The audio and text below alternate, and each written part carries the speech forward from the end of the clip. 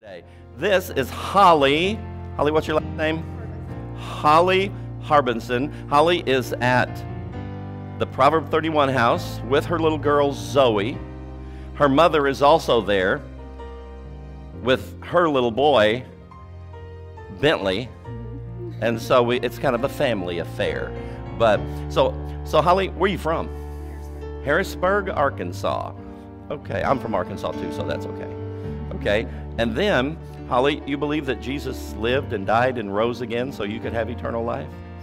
And you've asked Him to give that to you? And you believe that He did? Amen. All right, girl, step right in here and face that way, and then you can just be seated.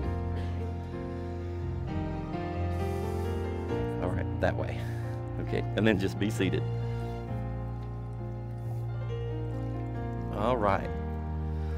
All right, Holly, because you believe that Jesus lived and died and rose again and he's given you eternal life, then I baptize you, my sister, in the name of the Father and of the Son and of the Holy Spirit, buried with him in the likeness of his death, and then raised again to walk in newness of life. Amen. We love you, sweetheart. All right, here comes mom with your towel.